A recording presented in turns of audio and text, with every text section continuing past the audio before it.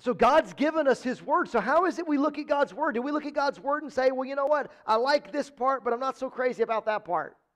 Do we pick and choose the parts of God's Word that work for us? Do, we pick the, the parts of God's words that are, that, that, are, that are palatable to us, and then those that are, uh, I don't know about that one, we say, ah, yeah, let's just put that one over to the side?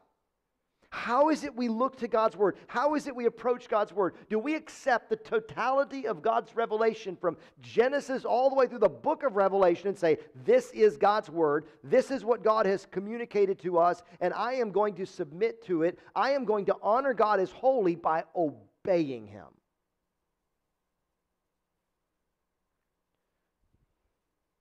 We treat God as holy when we use His name properly when we worship Him, when we fear Him, when we obey Him.